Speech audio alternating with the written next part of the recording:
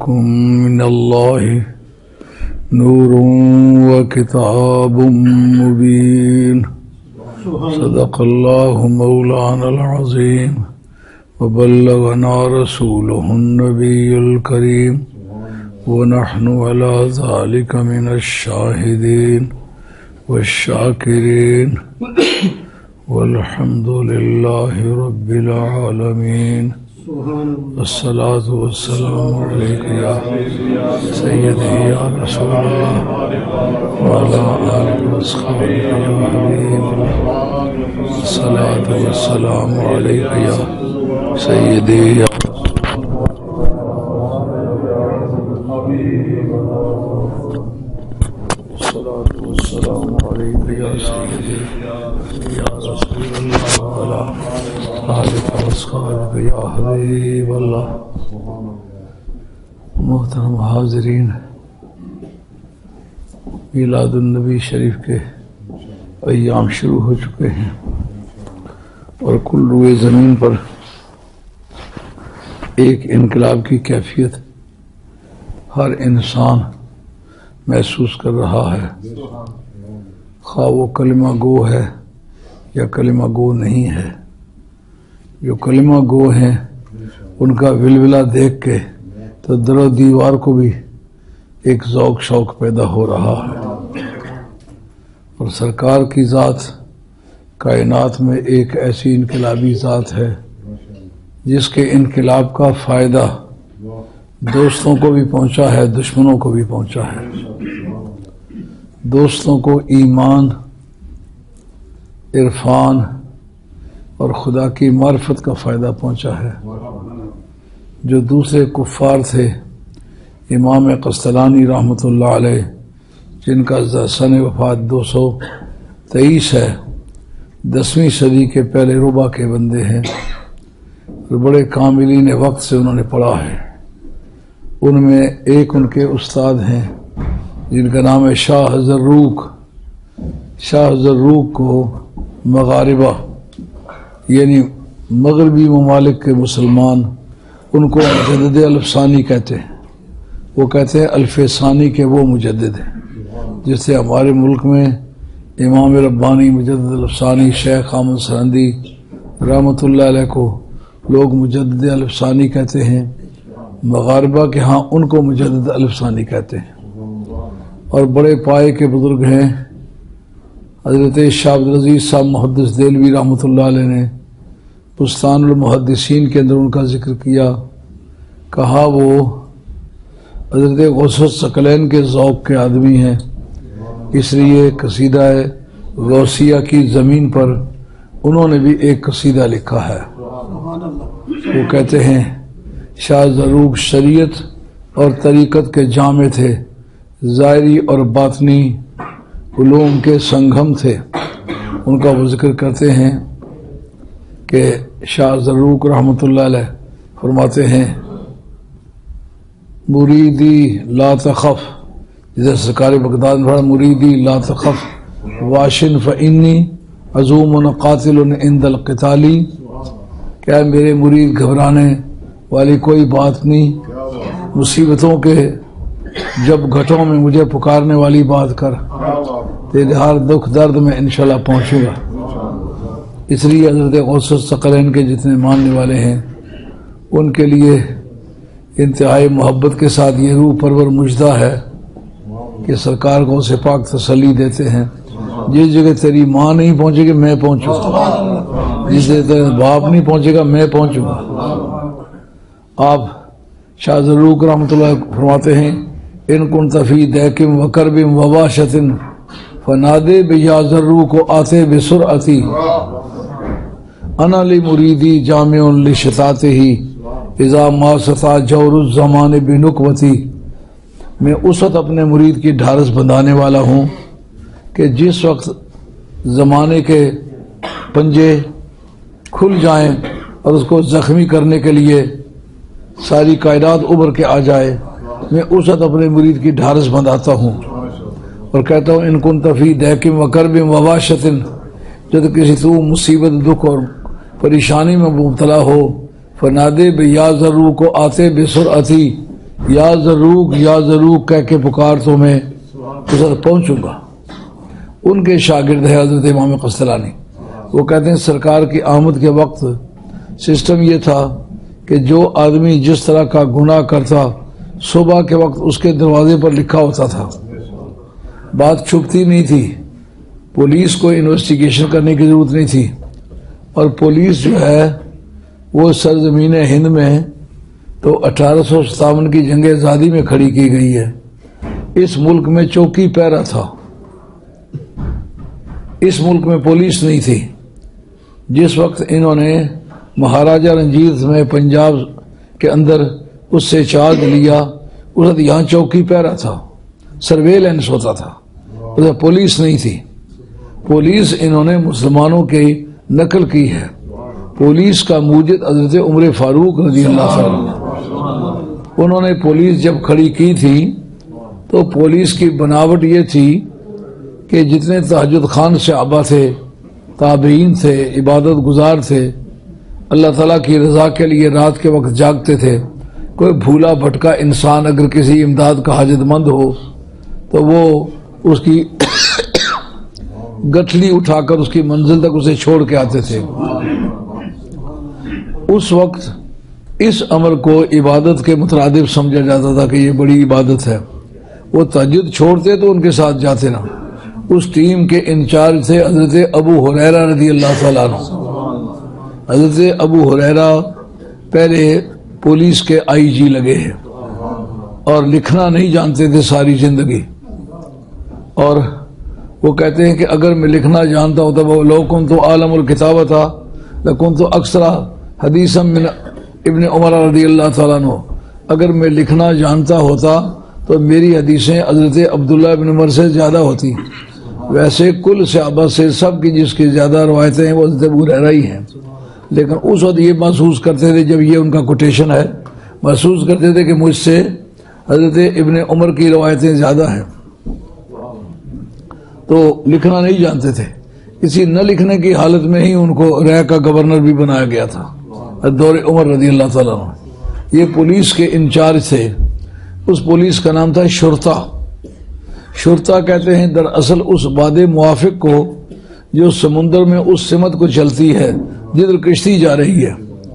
जिधर कश्ती जा रही है, अगर हवा भी उधर ही जा रही है तो फिर हवा की मुजामत किसी कश्ती बान को करने की ज़रूरत नहीं पड़ती।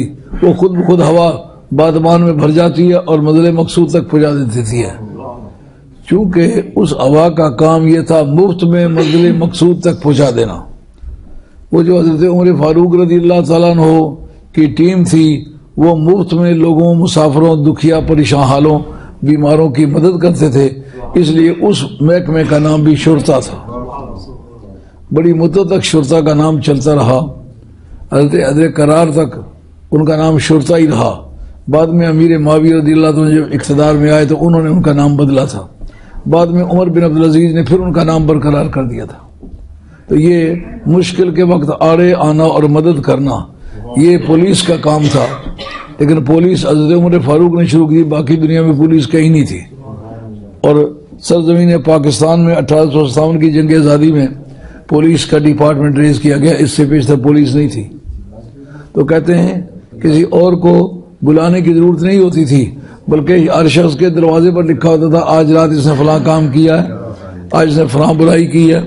तो किसी का भेद और पर्दा एक मिनट नहीं रहता था। सरकार की विलादत के वक्त ये फैसला हो गया कि आज के बाद किसी इंसान को बेपर्दा नहीं करेंगे। क्यामत के मैदान में हिसाब हो जाएगा। इसका फ़ायदा मुसलमानों को भी पहुँचा। यहूदियों को भी पहुँचा, ईसाइयों को भी पहुँचा, मुशरकिन को भी पहुँचा, क्योंकि ये सिस्टम जो था, ये किसी को सफेर नहीं करता था। इसका मकसद ये हुआ कि सरकार का मिलाद पाक एक ऐसी हकीकत है, जिसका फ़ायदा मुसलमानों को भी पहुँचा है और गैर मुसलमों को भी पहुँचा है। और उसके मुकाबले में मुसलमानों को खसूसी तौर पर यह फ़ायदा पहुँचा है। कि इमाम कस्तरानी रहमत लिखते हैं कि प्रिंसिपल क्या था? जब कोई बदी करे तो बदी उसके नाम अमाल में लिखी जाए। और अगर बदी का पुख्ता इरादा करे, खा वो बदी करे या न करे, दोनों सूरतों में उसके नाम अमाल में लिखी जाती थी। सरकार की आमद के मौके पर यह कानून बदल दिया गया। कहा, मेरे महबूब अगर कोई बदी का इरादा करे जब तक कर न ले लिखेंगे नहीं। दूसरी तरफ़ ये सिलसिला हुआ कि ऐ मेरे महबूब अगर तेरी उम्मत का कोई उम्मती नेकी का इरादा करे करने से पहले नेकी उसके नाम अमाल में दर्ज कर दे जबकि पहली उम्मतों का यह सिस्टम था जब तक नेकी कर न ले लिखी नहीं जाती थी। तेरा उम्मती अगर नेकी का पुख्ता इरादा कर ले तो एक नेकी तो उसी वक्त लिखी जाएगी। लेकिन अगर कर ले तो फिर का? मन जा बिल हसनत भलाऊ अशरम सालिहा। एक नेकी करे, दस गुना उसका स्वाब उसको उसको दिया जाएगा। दस गुना स्वाब सिर्फ़ एक नेकी का। लेकिन सरकार तो साहब कहते मौला करीम, तूने मुझे रहमत आलमीन बना करके भेजा है। कोई ऐसा नमाया फ़ायदा मेरी उम्मत को पहुँचना चाहिए। ताकि उसकी कमी को पूरा कर दिया जाए। कहा, किस तरह चाहते हो, क्या करूँ? का कोई ऐसा तरीका कार ऐसा फालतू बेनिफिट उसको मिलना चाहिए कि जिसकी वजह से उसकी ये कमी पूरी हो जाए। कहा मेरे महबूब, अगर कोई तेरा उम्मती मस्जिद नबी में जाके नमाज़ पढ़ेगा, नेकी करेगा, एक का पचास हज़ार गुना ज़्यादा उसको फ़ायदा पहुंचाएगा। अगर मक्के वाली मस्जिद में करेगा तो उसको एक लाख का सवाब मिलेगा।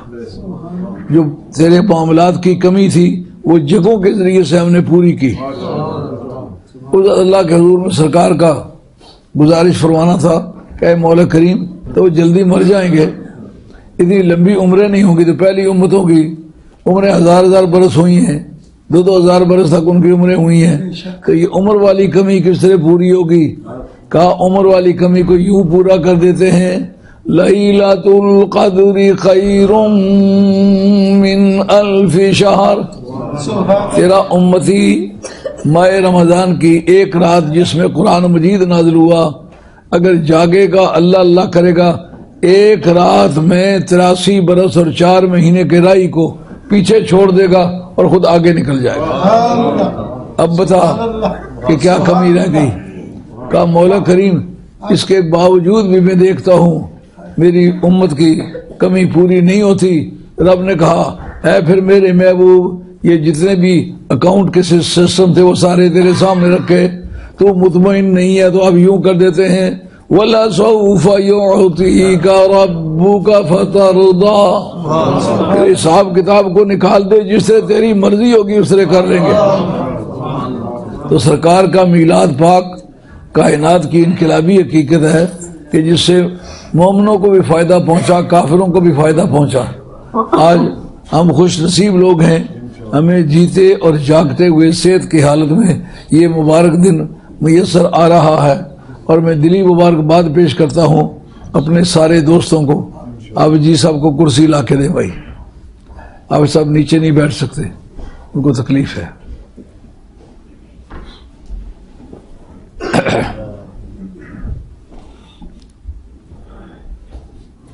अब मेरा ख्याल है नीचे खड़े बैठने वाला बंदा मैं ही रह जाऊँगा, बाकी सारे कुर्सी नशीन हो जाएँगे।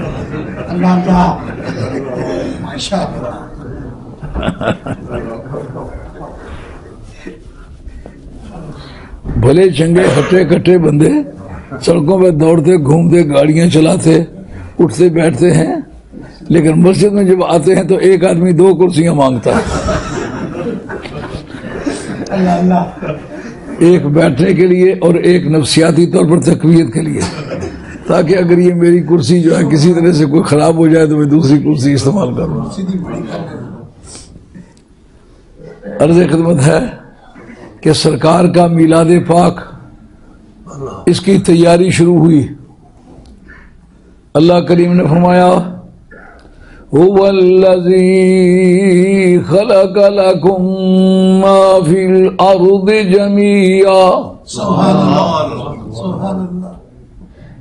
हुवल्लज़ी अर्द फिराशा वस्समाअ बिनाआ हमने ज़मीन को फर्श बनाया, आसमान का टेंट लगाया और मीटिंग बुलाई नबियों की वह इज़ अखज़ल्लाहुमीसाक़न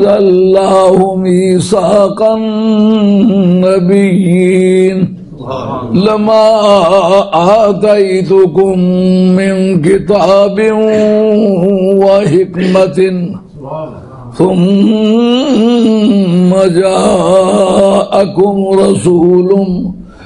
मुसद्दिकुल्लिमाकुम ये तैयारियां हो रही हैं सरकार के मिलाद पाक की हजूर का इरशाद हदीस लौलाक है लौलाका लमा खलक तुलफलाक लौलाका लमा खलक दुनिया वल आखिरा लौलाका लमा खलक दुनिया व माफिया लौलाका लमा खलक जन्नत व नार। ऐ मेरे मुस्तफ़ा तू ना होता, न ज़मीन को बनाता, न आसमानों को बनाता, न जो कुछ दुनिया में है वो बनाता, न दोजक बनाता, न जन्नत बनाता, न दुनिया की बहारें होती और न कयामत के नज़ारे होते, ये सब तेरी वजह से बनाए हैं। लाम तालील है, लाम का था लोला का लमा खलक अफलाक। इसको कहते लोला शर्तिया गैर आमिला। इसके बाद मौजूद माजूब होता है। ये जनाब हैदर करार की तरकीब है। इसको कहते हैं, लौला शर्तिया खैर आमिला। इसके बाद मौजूद माजूब होता है। इसका माना यह अगर तो उस वक्त मौजूद न होता तो हम ज़मीन आसमानों को न बनाते मालूम तेरी मौजूदगी उस वक्त थी, उसके बाद हमने ज़मीन आसमान बनाया इसका मतलब यह है कि तू जमीनों आसमान के बगैर हो सकता है। लेकिन ज़मीन व आसमान तेरे बगैर नहीं हो सकता।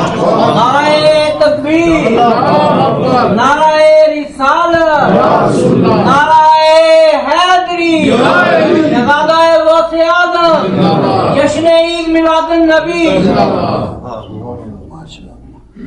वाह हैदर करार थे इल्म पर कुर्बान। बाज आल इल्म ने इस पर एतराज़ किया कि हदीस लौलाग जो है ये मौजू है ये मान घड़त है। मुल्ला अली कारी ने मौजूआत कबीर के अंदर लिखा है, लफ्जन मौजू है, मानन मरफू है। मरफू उस हदीस को कहते हैं जो सरकार के होंठों से जा मिले।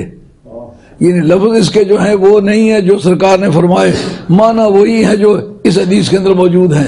मानन मरफू होने का मतलब तो जितने भी हदीसें हैं, लफ्जन, हर किसी भी हदीस के अल्फाज, सिवाय इसके कि जो सरकार ने फरमाया, मन कदब अलिय मुतमदन, फलियत बवा मकद नार। जिस आदमी ने मेरे बारे में सचमुच, जानबूझ के झूठ कहा है, वो अपना ठिकाना जहनम में बनाए। सिवाय इस हदीस के, किसी हदीस के भी वो अल्फाज नहीं है जो सरकार की ज़ुबान से निकले हैं। अल्फाज शहबा के अपने, कुरान है जिसके अल्फाज भी वही हैं, जो रब की तरफ़ से हजूर की बारगाह में आए इन नजल अला कल्ब कबिल्ला आपके कल्ब अतर पर कुरान मजीद नाजल करते सिवाय कुरान के बेलफ्ज ही कोई हुक्म नहीं है। हदीस जो है, ये बेमान नहीं है। रवायत मानवी में, रवायत लफ्जी में नहीं है। ये डायरेक्ट स्पीच में नहीं है इनडायरेक्ट स्पीच में है। तो कहते हैं, फिर उसके जितनी भी ये रवायतें पढ़ी हैं, सारी मुला कारी ने मजूआत कबीर के अंदर लिखी हैं कि अल्लाह करीम ने फरमाया है, ये हदीस कुदसी है। अल्लाह ने फरमाया कि मेरे बेबू अगर तू ना होता लफ्ज मौजूद लोला के बाद माजूब होता है। ये जनाब हजर करार का मतलब है। इसीलिए इसकी तरकीब कहते लोला शर्तिया गैर आमिला। मौजूद माजूब मरफू लफ्जन ऐ मेरे महबूब, अगर तू ना होता, लौला अंत मौजूद ये इसके असल में इबारत समझी जाती है। अगर तू मौजूद ना होता तो मैं ये सब चीज़ें ना बनाता। मेरी और आपकी बका ज़मीन के ज़रिए से है। ज़मीन है तो हम हैं। हम इसी पर चलते हैं। अगर ये ना हो तो हम चल फिर सके, न रह सके। लेकिन सरकार को फरमाया, अगर तू पहले से मौजूद न होता तो न मैं ज़मीन को बनाता, ना आसमान। मौकूफ अलह को हमेशा पहले बनाया जाता है, मौकूफ को बाद में बनाया जाता है। समझो बात? जिसकी चीज़ की ज़रूरत होती है, वो पहले बनती है। और जिसको ज़रूरत होती है, वो बाद में बनता है।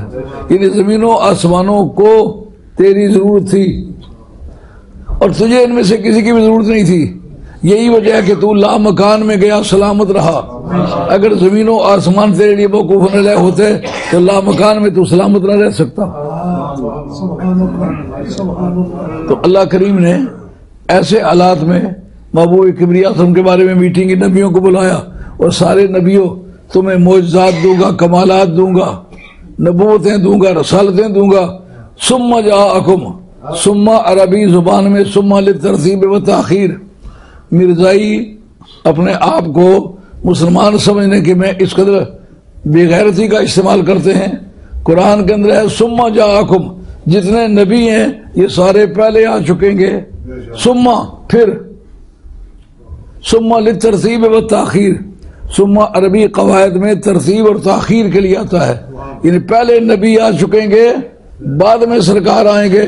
अब जो नबी कहलाना चाहे, वो सरकार से पहले आए। अगर सरकार के बाद में आए तो रब महाकुम उनकी नबूवत और रसालत की दलील क्या होगी? वो स्टैंप करेगा। वो तस्दीक करेगा। अब जब रजिस्ट्रार ने अपना दफ्तर बंद कर लिया तो ये थैला लिए हुए किधर फिर रहा है? इसकी रजिस्ट्री जाली है। और फिर हर नबी को कहा, अपनी अपनी उम्मतों से तुमने वादा लेना है। सारे नबियों ने अपनी अपनी उम्मतों से वादे लिए कि इस शान वाला रसूल आएगा। ये उसकी शक्ल होगी, उसकी अबू व्यवस्था होंगे घुंगरियाले बाल होंगे। दरमियानी से कदरे बुलंद कद होगा चौड़ी छाती होगी शाजोर होगा, खूबसूरत होगा, पलकें लंबी और कुंगरियाली होंगे, बारीक होंठ होंगे और सुर्ख होंगे। ऊँची गर्दन होगी, बातों में मिठास होगी, जो देखेगा, वो सिबर मायले मोहब्बत हो जाएगा। दोस्त और दुश्मन उसके हुसन को देखकर मुतासर होंगे। गब गा खातुन जद सैर यारो, सुए बोसता सोने रवान थी दे हमन वजद पे सर को चनार बाके अंदर गश माली बागबान थी दे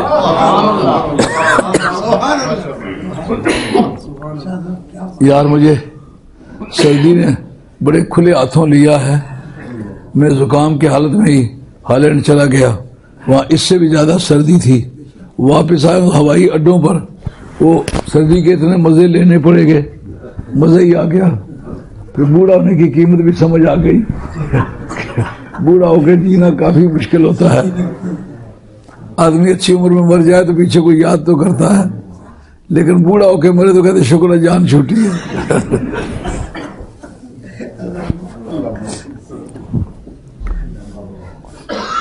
हमें ये उम्मीद है कि चौरासी मुल्कों में सरकार की मोहब्बत के डंके बजाए हैं। यादगारें ताज़ा होंगी मेरे मर जाने के बाद। ने वो गुरु रंग जो लाता है मुर जाने के बाद। इस वक्त कुछ पैसे मेरे पास हैं, मिलाद शिव के लिए, जो हमारे मोहब्बत वाले साथियों ने पेश किए